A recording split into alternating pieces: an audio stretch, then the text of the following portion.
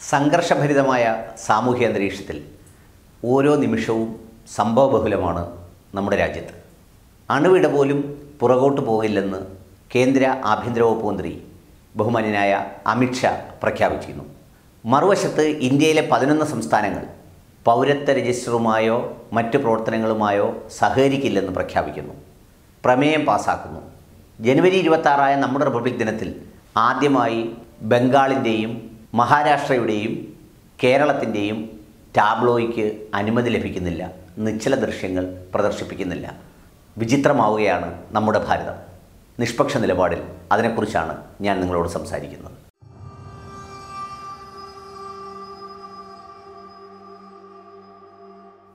India ഒരു union സ്റ്റേറ്റാണ്. മറ്റ് രാജ്യങ്ങളെപ്പോലെ ഫെഡറേഷനല്ല.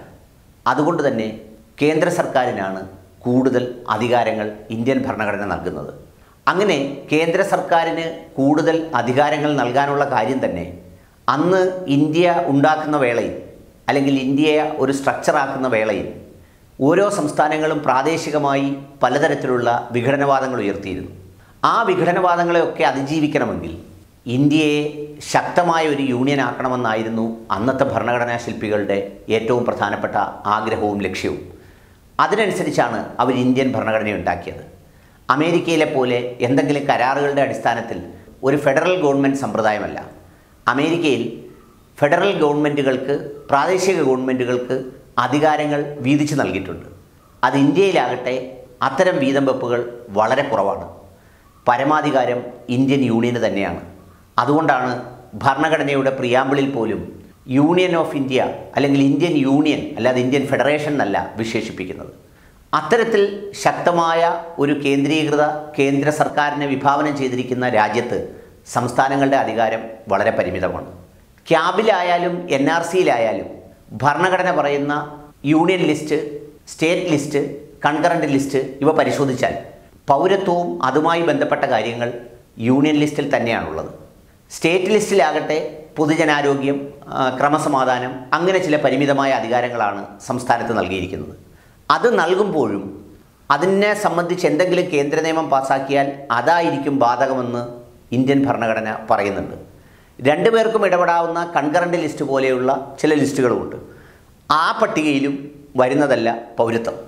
ചുരുക്കത്തിൽ പറഞ്ഞാൽ പൗരത്വത്തിനെ സംബന്ധിച്ച് അന്തിമമായി തീരുമാനിക്കാനുള്ള അധികാരം കേന്ദ്ര സർക്കാരിന് തന്നെയാണ് ഇന്ത്യൻ ഭരണഘടന പ്രകാരം.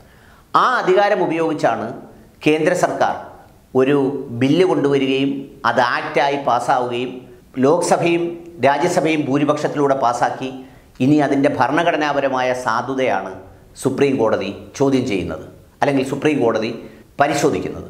ഈ വേളയിൽ അതേ അധികാരത്തിന്റെ സ്ഥാനത്ത് നിന്നുകൊണ്ട് തന്നെയാണ് കേന്ദ്ര ആഭ്യന്തര വകുപ്പ് മന്ത്രി ഇനി എല്ലാവരും കൂടി ഒന്നിച്ചു വന്നാലും അണുവിട പിന്നോട്ടില്ല എന്ന് പ്രഖ്യാപിക്കുന്നത്. അത് പറയുമ്പോൾ ഏതെങ്കിലും പൊതുയോഗത്തിൽ വെച്ച് പിന്നോട്ട് പോകും എന്ന് പ്രതീക്ഷിക്കുന്നത് മണ്ടത്തരവുമാണ്.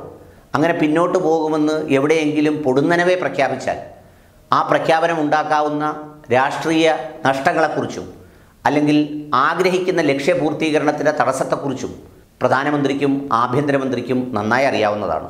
അതുകൊണ്ട് അവരുടെ ഉള്ളിൽ മറ്റേതെങ്കിലും ചിന്തയുണ്ടെങ്കിൽ പോലും പ്രകടമായി അതവർ പ്രകടിപ്പിക്കുമെന്ന് തോന്നുന്നില്ല. പിന്നെ ഇതുകൊണ്ട് സംഭവിക്കാൻ പോകുന്ന കാര്യം എന്താണ് യഥാർത്ഥത്തിൽ? അവർക്ക് നന്നായി അറിയാം ഇന്ത്യയിലേക്ക് വന്ന പൗരന്മാരെ ഈ പറയുന്ന എന്തെങ്കിലും വിഭാഗമായി തിരിച്ച് അല്ലെങ്കിൽ അത്തരത്തിൽ പീഡിപ്പിക്കാനോ എന്നൊക്കെ പറയുന്നത് എത്ര തടങ്കൽ പാലയങ്ങൾ ഉണ്ടാക്കിയാലും സാധ്യമാവുക എന്നത് പ്രയാസമായ കാര്യമാണ്. പിന്നെ അവർക്ക് വേണ്ട ലക്ഷ്യം എന്താണെന്ന് വെച്ചാൽ പാകിസ്ഥാനെ സ്നേഹിക്കുന്ന ഒരുപാട് പേർ ഇന്ത്യയിലുണ്ടെന്ന് വരുത്തുക. ആ ഗണത്തിൽ മുസ്ലിങ്ങളെയും അതുപോലെയുള്ള ആളുകളെ പിന്തുണയ്ക്കുന്നവരെയും ഉൾപ്പെടുത്തുക. മറുവശത്ത് ഇന്ത്യയെ സ്നേഹിക്കുന്നവരെന്ന് വിശ്വസിക്കുന്നവരുടെ വലിയൊരു വോട്ട് ബാങ്ക് ഉണ്ടാക്കുക.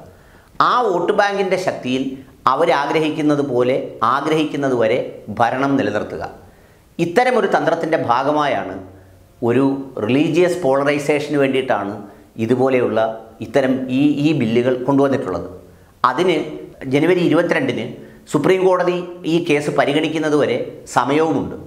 അത് റാലിയിലൂടെയും മറ്റുള്ള കാര്യങ്ങളിലൂടെയും ഒക്കെ ഏഹ്, സാധിച്ചെടുക്കുക എന്നുള്ളൊരു തന്ത്രമാണ് ഉപയോഗിച്ചു പോരുന്നത്. പിന്നെ നിയമസഭയ്ക്ക് നിയമസഭയുടെ താല്പര്യാർത്ഥം പ്രമേയം പാസാക്കുന്നതിനുള്ള എല്ലാ അവകാശവുമുണ്ട്. അങ്ങനെ നിലപാടെടുത്തിരിക്കുന്ന പതിനൊന്നോളം സംസ്ഥാനങ്ങൾ ഇന്ത്യയിലുണ്ട്. ഇനി ഒരുപക്ഷെ കേരളത്തെ തുടർന്ന് പുതുച്ചേരി താമസിയാതെ ഒരു പ്രമേയം കൊണ്ടുവരുമെന്ന് കേൾക്കുന്നു. മറ്റ് സംസ്ഥാനങ്ങളും സമാനമായ പ്രമേയങ്ങൾ കൊണ്ടുവന്നേക്കാം. അത്തരം പ്രമേയങ്ങളെ പാടെ അവഗണിച്ചുകൊണ്ട് അല്ലെങ്കിൽ പതിനൊന്ന് സ്റ്റേറ്റുകളുടെ ഉത്കണ്ഠയും പ്രതിഷേധവും അവഗണിച്ചുകൊണ്ട് ഒരിക്കലും മുന്നോട്ട് പോകാൻ കഴിയില്ല. താൽക്കാലികമായി ഇപ്പോൾ ഈ രാജ്യത്തുണ്ടായിരിക്കുന്ന വിലക്കയറ്റവും അതിനെ തുടർന്നുള്ള പ്രശ്നങ്ങളും അതുപോലെ തന്നെ സാമ്പത്തിക തകർച്ചയും മറയ്ക്കാനും മറക്കുവാനും വേണ്ടി കുറച്ച് കാലത്തേക്ക് ഇത് ഉപയോഗിക്കാമെന്ന് മാത്രം. ഒരുപക്ഷെ നാളെ സുപ്രീം കോടതിയിൽ നിന്ന് ഒരു സ്റ്റേ വിധിയോ അല്ലെങ്കിൽ അത്തരത്തിലുള്ള എന്തെങ്കിലും ഉണ്ടായാൽ അത് അനന്തമായി നീട്ടിക്കൊണ്ടുപോയാൽ ഈ വർഗീയ പ്രശ്നം എന്നും നിലനിർത്തുകയും ചെയ്യാം. അതോടൊപ്പം തന്നെ ഇത് സാധിച്ചില്ല എന്നുള്ള കാരണം നീട്ടിക്കൊണ്ടുപോയി ആയിരത്തി തൊള്ളായിരത്തി നാൽപ്പത്തി ഒമ്പതിലുണ്ടായ ബാബറി മസ്ജിദ് പ്രശ്നം രണ്ടായിരത്തി പത്തൊമ്പത് വരെ ഏതാണ്ട് എഴുപത് വർഷത്തോളം നീട്ടിക്കൊണ്ടുപോയതുപോലെ ഇങ്ങനൊരു വിഭജനത്തിന്റെ വികാരം രാജ്യത്തിനകത്ത് സൃഷ്ടിച്ച് വോട്ട് ബാങ്കിനെ ശക്തിപ്പെടുത്തുന്നതിന് ഉപയോഗിക്കാം എന്നുള്ളതാണ് ഇതിന്റെ ഒരു ഏറ്റവും പ്രധാനപ്പെട്ട തന്ത്രം. ആ തന്ത്രത്തിന്റെ ഭാഗമായാണ് എല്ലാ റാലികളിലുമൊക്കെ വളരെ അക്ഷോഭ്യരായി ഇത്തരം കാര്യങ്ങൾ പറയുന്നതും പാകിസ്ഥാനെ ഇതിലേക്ക് വലിച്ചഴിക്കുന്നതും പാകിസ്ഥാനെ പിന്തുണയ്ക്കുന്നവരാണെന്ന് പറഞ്ഞു വെക്കുന്നതും അതുപോലെ തന്നെ ഇന്ന് ആഭ്യന്തരമന്ത്രി പറഞ്ഞതുപോലെ ഇറ്റാലിയൻ ഭാഷയിലേക്ക് ബില്ല് മാറ്റിത്തരാം എന്ന് പറയുമ്പോഴത്തേക്ക് അവർ ഭാരതീയരല്ല എന്നുള്ള ഒരു സന്ദേശം കൂടി ബുദ്ധിപരമായി നൽകാൻ ശ്രമിക്കുകയാണ് ചെയ്യുന്നത്. ഇതൊക്കെ ഒരു തന്ത്രത്തിന്റെ ഭാഗമാണ്. ഇനി അതിലൂടെ അങ്ങോട്ട് സഞ്ചരിച്ച് പോകുമ്പോൾ നമുക്ക് മനസ്സിലാവുന്ന മറ്റൊരു പ്രധാനപ്പെട്ട കാര്യം. ഈ ഫെഡറൽ സംവിധാനത്തിൽ സ്റ്റേറ്റും യൂണിയനും തമ്മിൽ വളരെ ആരോഗ്യകരമായ ഒരു ബന്ധം അനിവാര്യമാണ്. വളരെ അപൂർവമായി മാത്രമാണ് ഈ ബന്ധങ്ങൾ വഷളായിട്ടുള്ളത്.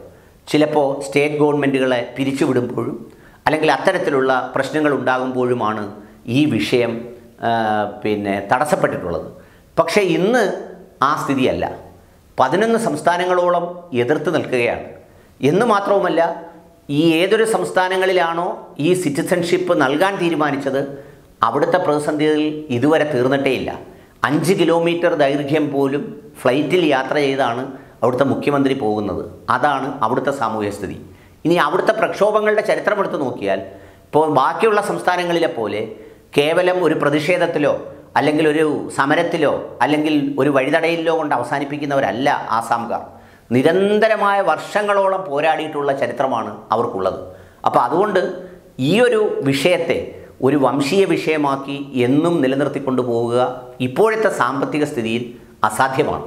ലോകരാജ്യങ്ങളും ബഹ്റൈൻ അടക്കമുള്ള ഗൾഫ് രാജ്യങ്ങളൊക്കെ കുറച്ചുകൂടി വ്യക്തമായ അഭിപ്രായങ്ങൾ പറഞ്ഞുകൊണ്ട് മുന്നോട്ട് വന്നിട്ടുണ്ട്.